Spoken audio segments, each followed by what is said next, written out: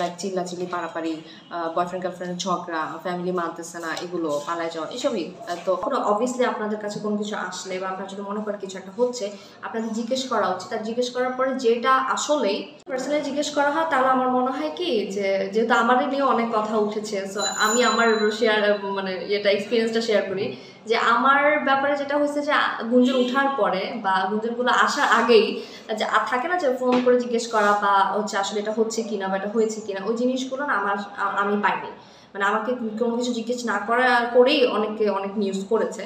তো যার কারণে আসলে এটা আমার পার্সোনাল লাইফে বা আমাকে নিয়ে, যাকে নিয়ে নিউজগুলো করা হচ্ছে, তার লাইফে অনেক অনেক রকমের প্রভাব পড়েছে। তো আমার মনে হয় এটা আসলে উচিত না। যখন অবভিয়াসলি আপনাদের কাছে কোনো কিছু আসলে বা আপনার যদি মনে করেন কিছু একটা হচ্ছে আপনাদের জিজ্ঞেস করা উচিত। আর জিজ্ঞেস করার পরে যেটা আসলেই সেটা করা উচিত। শুধুমাত্র হচ্ছে আপনাদের নিউজগুলো আসলে ভিউ বাড়ছে বা এই ওই একটা হেডলাইন ওই জিনিসগুলোতে আসলে যাওয়া উচিত না। আপনারা জিজ্ঞেস করবেন আমরা ডেফিনেটলি আমরা তো আসলে একটা ফ্যামিলি হ্যাঁ? সো আপনারা জিজ্ঞেস করলে আমরা কেন বলব না? আপনারা জিজ্ঞেস করবেন আমরা বলব দেন আপনারা যা খুশি নিউজ করেন কোনো সমস্যা নেই।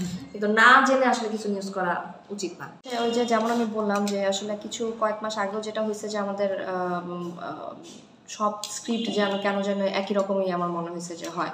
লাইক চিল্লাচিল্লি পাড়াপাড়ি বয়ফ্রেন্ড গার্লফ্রেন্ডের ঝগড়া ফ্যামিলি মানতেছে না এগুলো পালায় যাওয়া এসবই। তো এখন যেটা হয়েছে যে নাটকের গল্পগুলো এখন একটু চেঞ্জ হয়েছে। এখন মনে হচ্ছে যে না, মানুষজন একটু ডিফারেন্টভাবে চাচ্ছে যে ডিফারেন্ট কিছু করতে বা আগে যেমন আমরা হচ্ছে, যে স্ক্রিপ্টগুলো পেতাম বা যে একটা ক্যারেক্টার একটু ডিফারেন্ট আসছে মানে সব কিছু মিলে একটু আলাদা চেষ্টা বা সব কিছু ওই জিনিসগুলো তো এখন শুরু হয়েছে।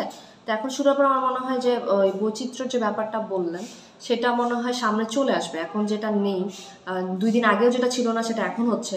সো এখন যেটা নাই, সেটা দুদিন পর আবার হবে ইনশাল্লাহ সো আমি আসলে কোনটাতে স্বাচ্ছন্দ্য বোধ করছি সেটা কথা না। আমার আসলে অ্যাক্টিং করতে আমি স্বাচ্ছন্দ্য বোধ করি, সেটা যেখানেই হোক না কেন।